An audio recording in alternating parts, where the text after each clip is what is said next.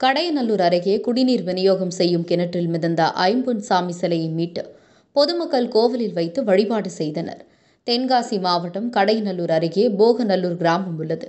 இந்த கிராமத்தில் வசித்து வரும் பொதுமக்களின் குடிநீர் தேவைகளை பூர்த்தி செய்வதற்காக ஊருக்கு அருகாமையில் ஒரு கிணறு தோண்டப்பட்டு அதிலிருந்து பொதுமக்களுக்கு தேவையான குடிநீர் விநியோகம் செய்யப்பட்டு வருகிறது.